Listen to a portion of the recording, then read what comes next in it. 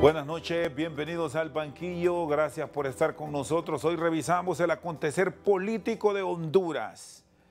Tema central, la elección del fiscal general de la República y el fiscal general adjunto. ¿Cómo están las posturas de las diferentes fuerzas políticas con poder de decisión en la Cámara que se están involucrando directamente en el proceso. Hablamos del Partido Libertad y Refundación, Partido Nacional, Partido Liberal y el Partido Salvador de Honduras.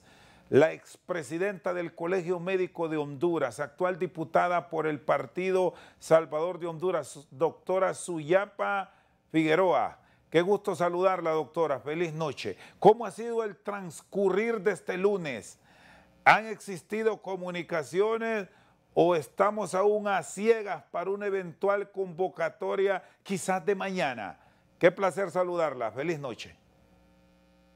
Muy buenas noches, licenciado Rosendo García. Muy buenas noches al pueblo hondureño que escucha eh, y, ve este tan prestigioso programa. Y bueno, eh, realmente nos ha llamado mucho la atención la falta de apertura al diálogo, la falta de claridad que ha tenido este proceso. Eh, sobre todo lo que nos llama la atención es, es justamente esto, que no ha habido esa disposición a dialogar, a consensuar. Eh, y en este momento, pues, eh, seguimos nosotros como bancadas que sí hemos platicado, que hemos dialogado y que hemos eh, tenido ese acuerdo de poner a la mejor persona para que dirija la y que sea el fiscal adjunto o la fiscal adjunto eh, y la, eh, la, fiscal general. sin embargo, no hemos logrado que el Partido Libertad y Refundación pues se siente, dialogue y lleguemos a un consenso por el bien del país. De momento, doctora, ¿cómo está el bloque opositor? Entre ustedes se han tenido intercambios para establecer si con alguno de los otros partidos que mantienen esta alianza bajo la postura de el abogado Marcio Cabañas y la abogada mm, Almendares Flores, eh, ustedes sí, sí han conversado. Sí, totalmente. Nosotros, eh, los jefes de bancada, se escogió a las personas que eran las que iban a, por medio de, la bancada, de cada una de las bancadas, a dialogar y a buscar consensos. Y logramos tener consenso en que indudablemente eh, el, el, abogado Cabañas es la persona que, digamos, eh, tenía una muy buena calificación, eh, tiene una muy buena aceptación por parte de los partidos, eh, tanto liberal como nacional, y consideramos nosotros como bancada del Partido Salvador de Honduras, que fue quien hizo la propuesta, que, eh, que esa, esa era la persona idónea en vista de que no iba a tener rechazo de ninguno de esos partidos y que obviamente cuenta con toda la preparación, con una muy buena calificación por parte eh, de, la Junta Nominadora y que por lo tanto considerábamos nosotros al inicio no iba a ser difícil llegar a un acuerdo al plantearlo así al Partido Libertad y Refundación.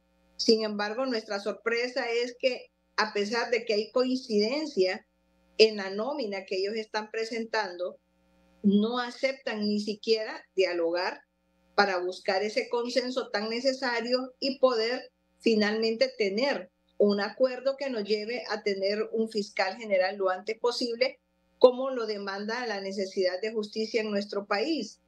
Y nos llama mucho la atención el hecho de que el Partido Libertad y Refundación, siendo un abanderado del respeto a los derechos de la participación de la mujer en política, siendo el Partido Libertad y Refundación un abanderado, eh, puesto que tiene a una mujer presidenta del país, no logre aceptar a la abogada Jenny Almendares.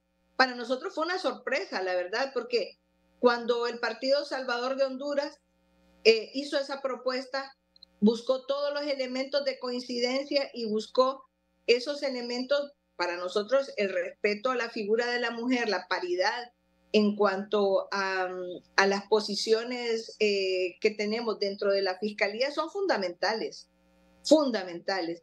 Y pensamos o sentimos que no iba a haber objeción por parte del Partido Libertad y Refundación. Nuestra sorpresa es que ellos están cerrados en una posición que obviamente no deja que el diálogo, que el consenso avance, sino que pareciera que eh, los más interesados en que no haya fiscal es justamente el Partido Libertad y Refundación. No sabemos realmente con qué objetivo, pero es indudable, es innegable que quien tiene una posición cerrada y quien definitivamente no quiere respetar ese, ese derecho a la mujer eh, de participar es justamente el partido que ha alzado la bandera eh, de reivindicación de los derechos de la mujer. ¿Por qué, doctora? ¿Qué perciben ustedes ahí detrás de todo esto en una posición que usted me dice no muestra rutas para apertura en libertad y refundación? Pues eso es lo que realmente para nosotros es algo eh, inexplicable. Y lo único que podríamos creer realmente que, como siempre lo ha hecho el Partido Libertad y Refundación, se nutre del caos, de la anarquía, y que indudablemente de alguna manera ellos eh, están queriendo eh, invalidar al Congreso Nacional de alguna manera como el, el ente, el poder del Estado que deba tomar la decisión de, eh, de proponer la figura del fiscal y fiscal adjunto y que de alguna manera ellos están queriendo minar la institucionalidad del Congreso Nacional al poner a un fiscal que tiene sus atribuciones ya bien eh, determinadas y que ahora quieran ponerlo para eh, que sirva prácticamente como un fiscal, aunque no tenga esas atribuciones, que es la figura de eh, el fiscal de la UFERCO, que nos parece a nosotros que no sería la situación mejor. Y la otra situación es que probablemente ellos lo que quieren es hacer una intervención del el Poder Judicial, que no nos parece tampoco, eh, sería también algo eh, erróneo, pero además contraviene todo lo que ellos han venido criticando en el gobierno anterior. Sabemos que las juntas interventoras nunca han dado respuesta a los problemas de las instituciones que han sido intervenidas. Por lo tanto, con todos estos antecedentes de fracaso, creemos nosotros que sería también inaceptable y siendo que este partido que está en el gobierno es el que más ha criticado la intervención de las instituciones, que consideramos es correcto criticar esas intervenciones, no creemos nosotros posible que entonces ellos vengan a hacer una práctica que tanto ellos han dicho que es errónea y que ahora que están en el poder, al parecer, es la que les conviene a sus intereses muy particulares como partido pero que deja al país con una institucionalidad debilitada. Y es justamente lo que juramos fortalecer la institucionalidad de nuestro país. Eh, libertad y refundación a través de pronunciamientos que hemos escuchado en las últimas horas de sus diputados señalan directamente al PCH que mantuvo una alianza con ellos al principio de la administración, ahora se han separado de lamentable el eh, que ustedes como congresistas se hayan unido a partidos políticos cuestionados. ¿Qué responde sobre esto? Bueno, indudablemente hubo una alianza eh, desde, desde, la propuesta en las elecciones eh, pasadas y obviamente esa alianza era con el objetivo de derrocar una, una dictadura que tenía al pueblo eh, sumido en ingobernabilidad, en pérdida de la, de la gobernabilidad, en pérdida de, credibilidad internacional y debilitamiento de la institucionalidad. hacemos una alianza justamente para corregir todo eso que dijimos estaba mal. Hicimos una alianza para reconstruir al país. Sin embargo, en ese camino, nuestros aliados, que era el Partido Libertad y Refundación, quieren imponer situaciones que por lo menos yo no estaba dispuesta a aceptar y por eso no apoyé, por ejemplo, el tema de la amnistía en los términos que ellos la estaban proponiendo. Yo eh, soy consciente de que hubo persecución política, sobre todo de jóvenes, de personas defensoras de la tierra, de personas defensoras de los recursos naturales de los que viven los pueblos, de los ríos, de las tierras, y que esas personas tenían indudablemente que buscárseles esas posibilidades de amnistía, pero no aquellas personas que habían cometido delitos de tipo político. Y eso fue justamente lo que la amnistía les abarcó. Delitos, que eran eh, indudablemente eh, de, orden político. Y fue justamente eso lo que hizo que de alguna manera esa alianza tuviera sus bemoles y al final, cuando el partido en el poder quiere avanzar más, olvidando los valores democráticos y de fortalecimiento institucional, es ahí cuando nosotros tomamos la decisión de no apoyar muchas de las decisiones que había tomado la bancada del Partido Libertad y Refundación y que consideramos que no tenía independencia, sino que era al, al, servicio de las órdenes de quien coordina este partido político. Muy bien, la doctora Suyapa Figueroa, diputada del Partido Salvador de Honduras, nos acompaña esta noche al banquillo. Vamos a una pausa, ya venimos con más. Seguimos esta noche al banquillo, está con nosotros la doctora Suyapa Figueroa, diputada del Partido Salvador de Honduras. Bueno, usted me exponía, doctora, que el tema de la intervención que se ha manejado, debemos decir, en círculos políticos de la Fiscalía del Estado, quizás se recuerda con ello el antecedente del 2014, cuando se produjo una intervención en la administración que tenía bajo la responsabilidad de la Fiscalía el abogado Luis Rubí Ávila. Pero lejos de todo eso, planteado este escenario, hoy para ustedes no se puede, no lo apoyarían bajo ninguna circunstancia y la apuesta es elegir un fiscal general y un fiscal general adjunto. ¿Es así? Totalmente. Nosotros no estamos de acuerdo en ningún tipo de intervención. No estamos de acuerdo incluso con esa comisión que se ha nombrado como eh, investigar el Congreso Nacional no tiene esas facultades de investigación, no, no es el ente con la preparación, no es el ente con todas las de ley para poder investigar. Por lo tanto, tampoco estamos de acuerdo con esa situación. Lo que necesitamos es elegir rápidamente un fiscal dentro de la nómina de los cinco, cumpliendo con los preceptos constitucionales aunque ya estamos desfasados en el tiempo, pero todavía tenemos esa oportunidad de poder eh, escoger un fiscal y fiscal adjunto en las próximas horas, sin más dilación, sin más tardanza, mostrando una buena voluntad, pero sobre todo mostrando compromiso con el fortalecimiento institucional que tanto necesitamos que ocurra en este país. Nosotros necesitamos recuperar esa institucionalidad.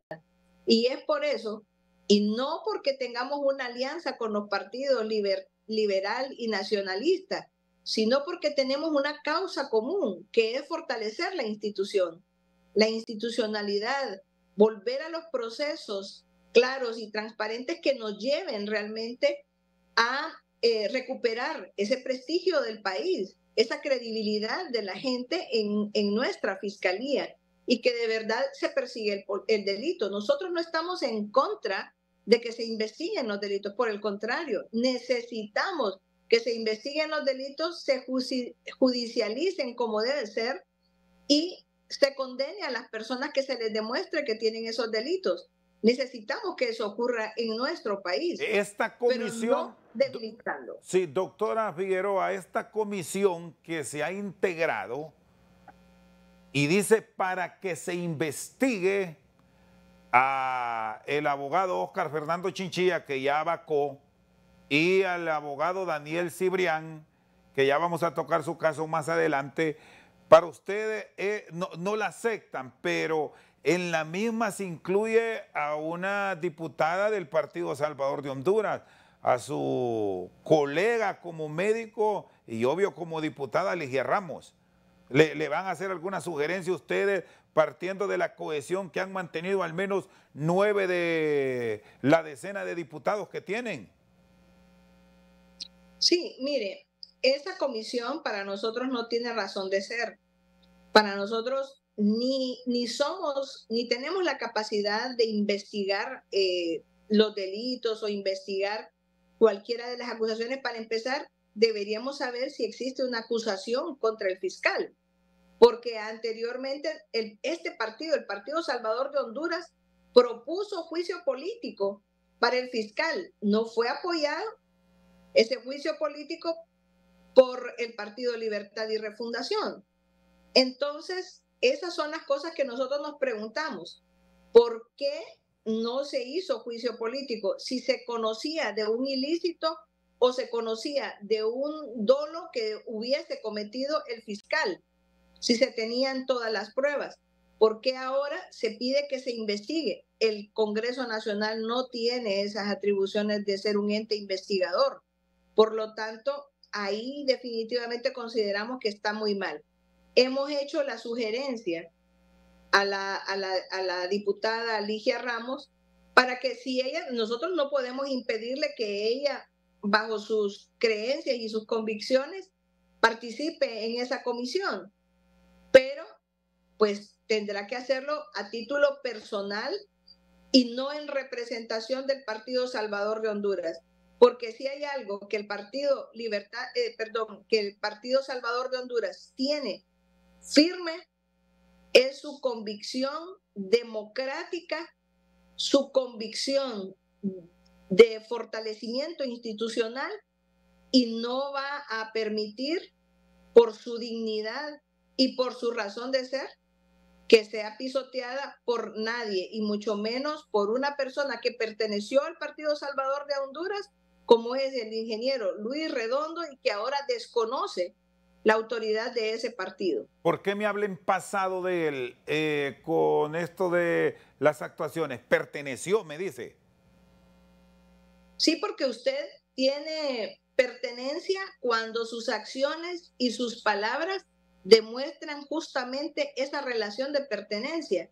Pero cuando usted se comporta como miembro de otra persona, cuando usted ya se viste del color de otro equipo, cuando usted defiende al otro equipo, pues obviamente dejó de pertenecer a este, a este, a este equipo y ya fichó con el, con el equipo que, que defiende y con el equipo del color que se viste y obviamente conoce y reconoce las órdenes que dan en el Partido Libertad y Refundación, pero desconoce las sugerencias que hace el presidente del Partido Salvador de Honduras, que ha sido claro.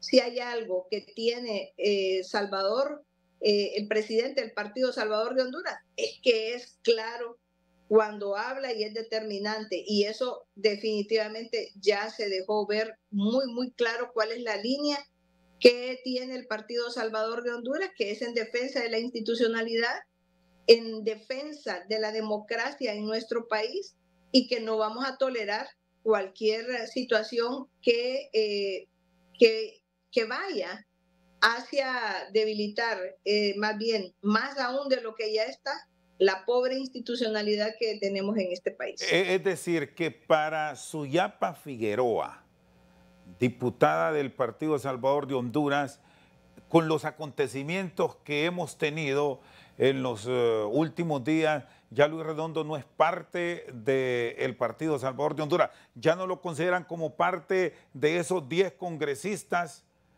eh, de ese instituto político, son nueve. Bueno, él hace tiempo no se reúne con la bancada, si es que algún día se reunió, nunca prácticamente lo hizo. Y obviamente no, no, no siguió ninguno de las, de las acciones que nosotros hicimos, más bien ningunió la bancada de este partido Salvador de Honduras. Luis Redondo se ha comportado como un activista de libertad y refundación. Sin embargo, el tema de, de si pertenece o no es del directorio del Partido Salvador de Honduras y ellos serán los que tomen esa determinación. Nosotros no somos parte del directorio del Partido Salvador de Honduras.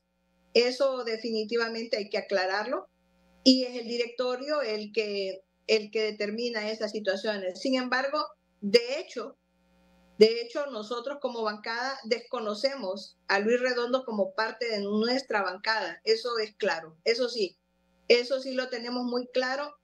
No es parte porque no se comporta como parte de nuestra bancada no respeta los principios de nuestra bancada y eh, eso se lo hemos dejado incluso ver eh, a él, eh, que definitivamente no, no ha sido su comportamiento congruente con los pensamientos, las directrices que ha dado la bancada del Partido Salvador de Honduras. doctora Figueroa, usted ha sido gremialista por años en el colegio médico, ahora con cargos dentro del Congreso de la República y política es diálogo, es eh, negociación, es búsqueda de entendimientos, dadas las circunstancias que actualmente tenemos. Ustedes tienen una propuesta, eh, Libre también tiene su propuesta. Eh, hay posibilidades que al sentarse, al entablar un diálogo franco y sincero, se acepten modificaciones me, ponía un ejemplo, el caso del abogado Marcio Cabañas, lo apoya libre para fiscal adjunto y el bloque opositor para fiscal general. Eh, visto lo que tenemos, eh, es posible modificaciones para encontrar ese número mágico de 86 o qué han pensado como estructura política en este debate que hay actualmente. Bueno, creo que en estas situaciones, eh, pues siempre el diálogo es la mejor arma para poder, eh, digamos, llegar a consensos. Y nosotros hemos manifestado siempre nuestra apertura al diálogo. Y estoy segura que el resto de las bancadas también, eh, que se adosaron, y hay que decirlo bien claro, ellos aceptaron la propuesta del Partido Salvador de Honduras. No es al revés, como lo ha, querido hacer Ver Libre. Y ellos aceptarían, estoy segura, participar nuevamente en un diálogo y poder llegar a consensos. Yo creo que el diálogo siempre va a ser la mejor forma de lograr los consensos necesarios por el país y para que pronto podamos tener un fiscal general y fiscal adjunto como lo espera el pueblo hondureño y como lo manda la Constitución de la República y sus leyes. Y, el tema, bueno, usted es una dama y el tema de las mujeres eh, sería objeto de conversación en ánimo de destrabar todo lo que se ha formado en eh, esta propuesta, doctor. Es decir, eh, a, veces es de sacrificio, de quitar a la abogada Almendares Flores por otro o, han visto esto en realidad o es innegociable eh, la postulación de una fémina? No, lo que podría pasar más bien es que ella quede como fiscal general, pues, ¿verdad? En base a, todo esto, lo, lo, deseable sería que Libertad y Refundación diga, bueno, ok, pero Jenny Almendares, la abogada Jenny Almendares, sube a fiscal general. Nosotros esperaríamos que esa sea la propuesta de Libre, porque, como le digo, ellos han sido abanderados de los derechos de la mujer. Entonces, eh, y, sería de, volver a replantear esa fórmula, invertirla, y eso nos daría todavía mejor aceptación de, las situaciones. ¿Por qué? Porque la abogada Jenny Almendares tiene la más alta calificación por la Junta Nominadora. Dicho sea de paso, nos llama mucho la atención que se le dé mucho crédito a la Junta Nominadora que calificó a los postulantes y que una comisión nombrada por el Congreso Nacional cambie las calificaciones, no sabemos en base a qué criterios, cambie esas calificaciones y pongan a la abogada Jenny Almendares en, en, prácticamente en, en, último lugar. No, en, cuarto lugar está, creo, sin, sin mal no recuerdo. En cuarto lugar pero ya no tiene el primer lugar que le dio la Junta Nominadora. Nos llama muchísimo la atención el Partido Libertad y Refundación y a veces nos preguntamos, ¿es eso una acción realmente deliberada para descalificar a la persona que tenía la mejor calificación y que en base a eso la eliminen de las, de, la, de las posibilidades de ser la fiscal general o fiscal adjunta? Nos llama mucho la atención. Y ahí es donde el pueblo hondureño debe tener muy claro que una cosa son los discursos y otra cosa muy distintos son, son las acciones. Y las personas se definen por sus actos. Eso es lo que define a las personas, no sus discursos, porque sus discursos han sido extremadamente distintos a lo que ya siendo gobierno ha sido el Partido Libertad y Refundación, totalmente alejado de ese discurso que dio en campaña. Y ahora prácticamente tenemos un partido Libertad y Refundación que le gustó la forma de gobernar de Juan Orlando Hernández y la está imitando al más puro estilo realmente de Juan Orlando Hernández. Muy bien, la doctora Suyapa Figueroa con nosotros al banquillo. Una pausa, ya regresamos. Seguimos al banquillo con la doctora Suyapa eh, Figueroa. Eh, ¿Qué es lo más difícil que han encontrado en este proceso de elegir al fiscal general de la República? Eh, ¿Cómo lo han eh, encontrado ustedes en eh, los días de votación, el comportamiento de los partidos políticos? Porque pasaron ya cuatro ocasiones y es lo mismo, 72-52, 73-53 y, ahí están los números, con variaciones leves. Pues fíjese que en realidad yo encontré mayores dificultades en, en, la situación de, de, las pláticas para la Corte Suprema de Justicia, probablemente porque eran más, más actores en, ese, en esa escogencia. Sin embargo, yo debo decirle que ha habido una excelente anuencia de parte de las bancadas del Partido Liberal y del Partido Nacional. No hemos tenido ningún problema en que nuestra propuesta como Partido Salvador de Honduras haya sido aceptada por ellos. Más bien, yo debo decir que a mí hasta me sorprendió que ellos aceptaran esa propuesta que nosotros llevamos. Y la verdad es que no ha habido dificultad. La única dificultad que era a donde creímos que no iba a haber mayor problema fue en el Partido Libertad y Refundación. Por eso yo insisto en que Libre pareciera no estar interesado en escoger al fiscal general y fiscal adjunto. Solo y ellos quieren el fiscal sí y solo sí se pone a la persona que ellos dijeron, decidieron que fuera el fiscal. Y yo debo decir que desafortunadamente en la democracia se cumple con la voluntad de las mayorías y las mayorías representadas en estas tres bancadas hemos dicho que queremos esa fórmula, pero que estamos también con la apertura de seguir dialogando y buscar consensos en esta situación. Así que yo no le veo mayor problema. Yo hubiese pensado que esto lo íbamos a resolver rápidamente. Sin embargo, eh, creo que el Partido Libertad y Refundación, mm, inobjetablemente, porque aquí es inobjetable, ellos no quieren fiscal. Ellos quieren nada más un, el fiscal que les calza a su voluntad y hasta diría yo, hasta a su necedad y que consideramos que está alejado de lo que el pueblo hondureño hubiese querido y hubiese pensado, indudablemente. Y, con todo esto, eh, doctora, eh, ¿qué planteamiento llevarán cuando se convoque a sesión como instituto político? hablando del PCH y, como bloque opositor para buscar solventar eh, este impasse, porque si no vamos, vamos a estar en más de lo mismo y esto se va a alargar. Y así nos pueden llevar incluso hasta el cierre de la presente legislatura. Es correcto.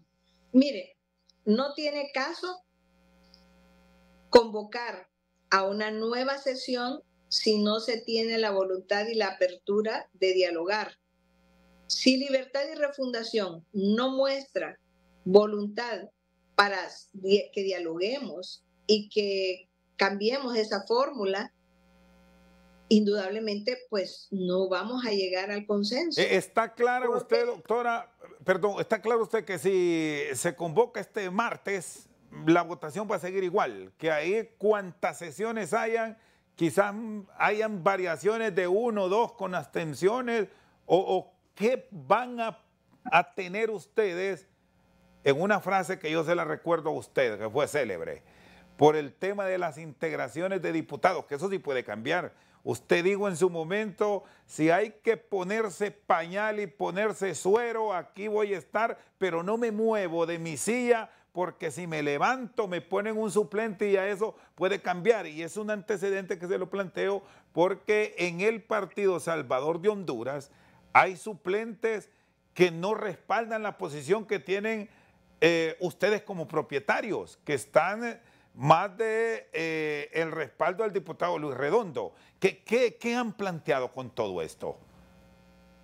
Bueno, nosotros eh, hasta este momento seguimos firmes, seguimos con la clara convicción de lo que el país necesita y no hemos variado nuestra posición. Y estamos siempre con, en bloque manteniendo esa, esa posición. Y como le digo, estamos con esa, esa, ese compromiso con el pueblo hondureño.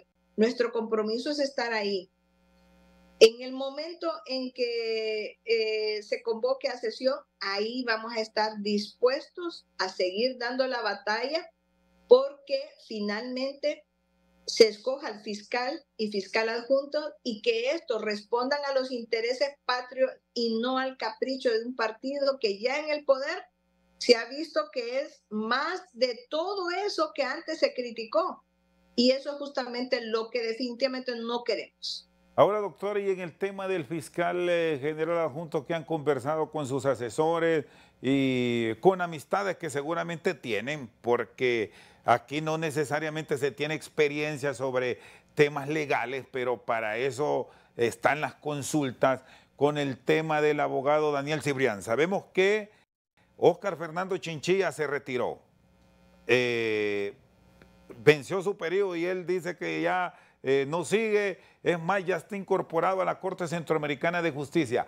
Pero el fiscal general adjunto ha remitido una carta al Congreso Nacional en donde pide claridad sobre el famoso artículo 80 del reglamento interior del Congreso Nacional que manda que un funcionario, en este caso como eh, los de la Fiscalía de la República, al vencer su periodo, continuarán, entre tanto se eligen sus sustitutos. Esto ha generado toda una polémica y hay opiniones de abogados, de economistas, bueno, ustedes los médicos, eh, ¿qué van a, resolver al respecto ustedes como partido? Porque esto lo tiene que conocer la Cámara, porque en su momento los eligieron ¿Debe seguir o no Cibrián bajo el amparo de este artículo 80? Bueno, la ley es clara con respecto a eso. Si, igual que sucedió con la Corte Suprema, recordemos que no se eligió en el tiempo en el que manda la Constitución la elección. Hubo un retraso y por eso no se interrumpió las acciones del Poder Judicial.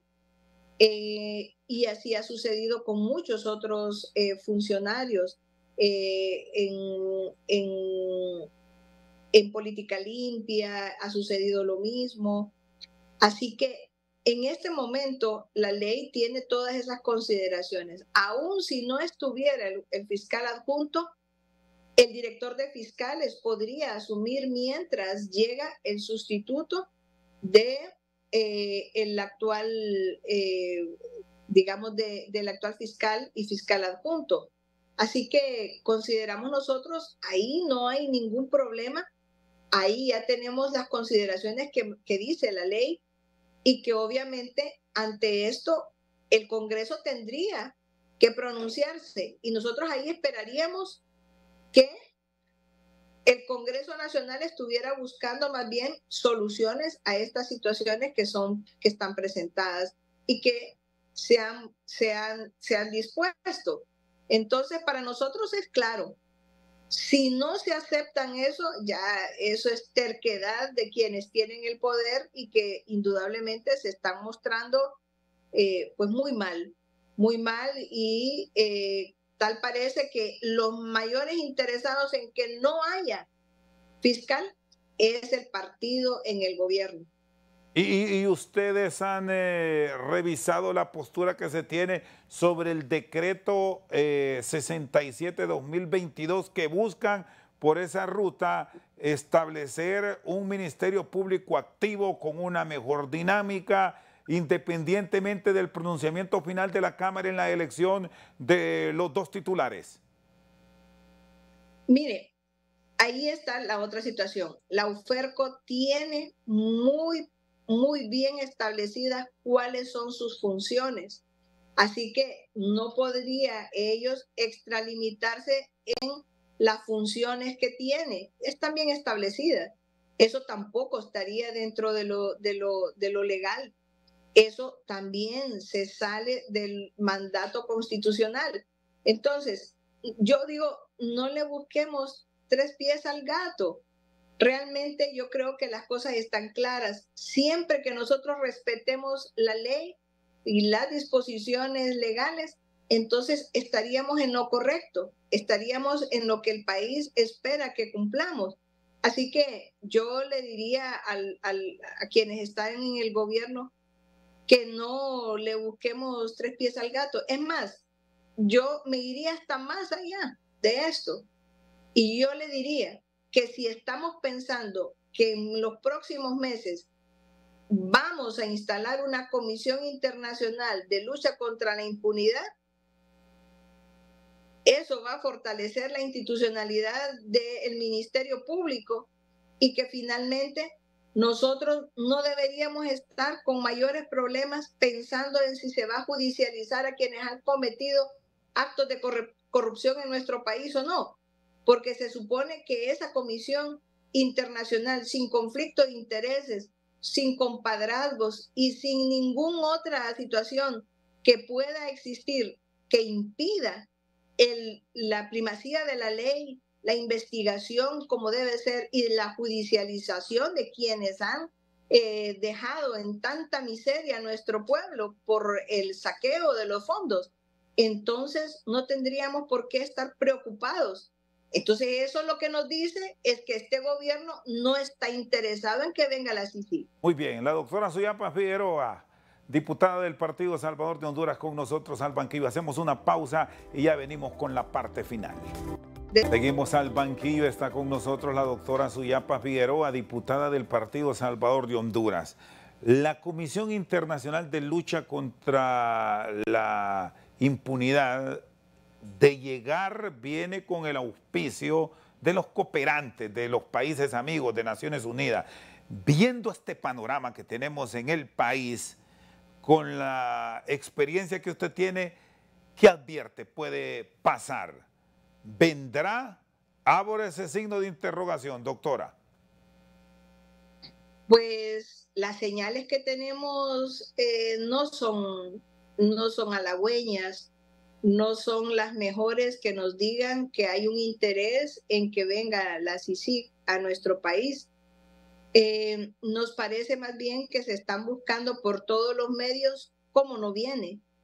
Y sinceramente no veo esas aperturas. Desafortunadamente, eh, no, no vemos eh, un panorama propicio, no vemos esa construcción de las oportunidades para que la CICI venga.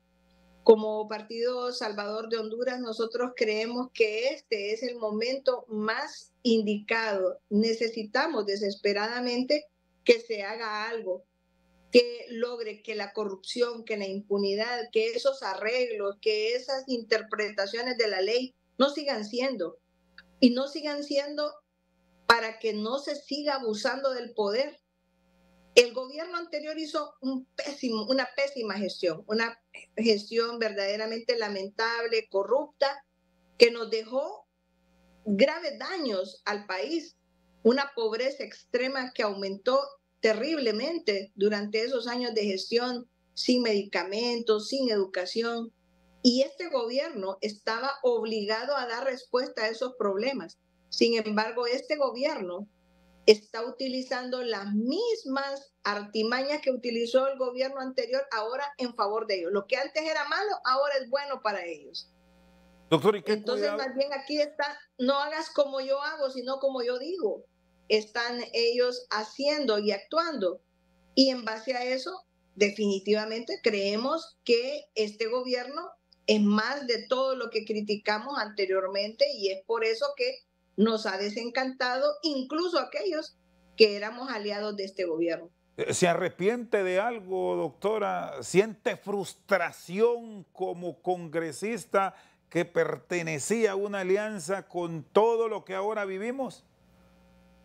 A mí si algo me movió a participar en política es creer que realmente podríamos realmente llegar a construir algo por el país pero los hospitales siguen sin medicamentos, las escuelas siguen sin maestros, sin las condiciones adecuadas, no hay tal acción contra la corrupción. Es más, hemos en el Congreso Nacional utilizado esas leyes nefastas y ese comportamiento nefasto del gobierno anterior, ahora es la normativa que rige el actuar de este, este actual Congreso Nacional.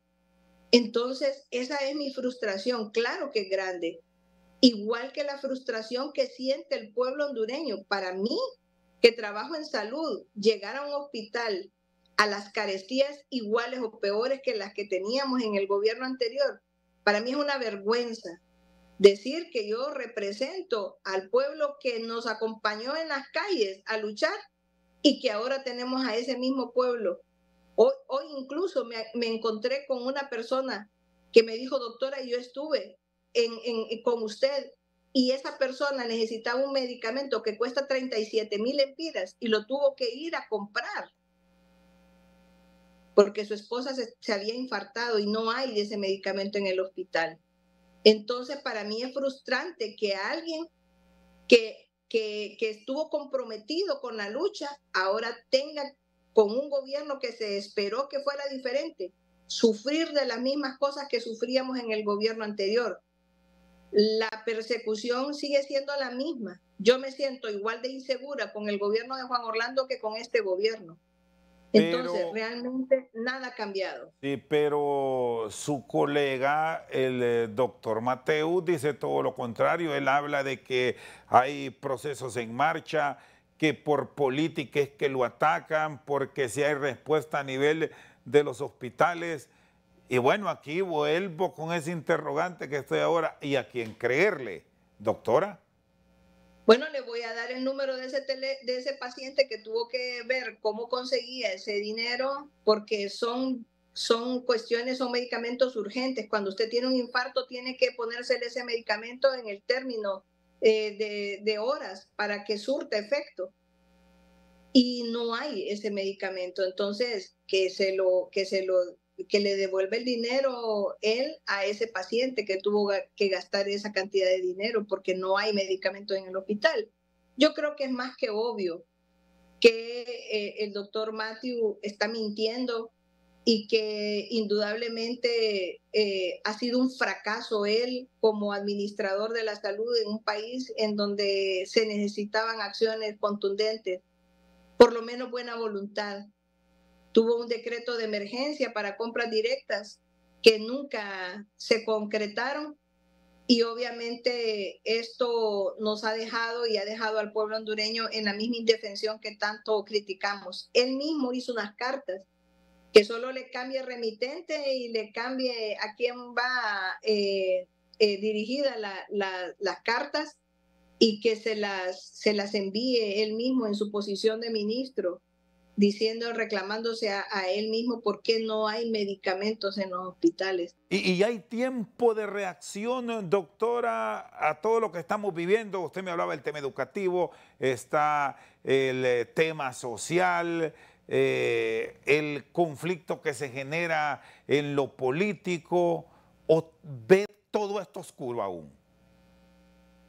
No, indudablemente ya no. Al gobierno se le terminó los primeros dos años, que es donde todo gobierno muestra su mayor esfuerzo, su fuerza se demuestra y el apoyo popular se demuestra en el primero y en el segundo año. Ya prácticamente ese tiempo se le terminó es un gobierno que va en picada en popularidad y yo creo que lo que le resta al gobierno, que son estos dos años que ya son años políticos, creo que eh, va a estar mucho más difícil y tenemos desafortunadamente como país una situación difícil, oscura, todavía un panorama no claro y con el, con el agravante que tuvimos una gran oportunidad, gran oportunidad de reconstruir verdaderamente nuestra patria y llevar a nuestro pueblo a mejores estadios de, de, vida, pero le negamos al pueblo hondureño esa oportunidad todo por la ambición de mantenerse en el poder. Este partido no está haciendo nada por el pueblo, está haciéndolo todo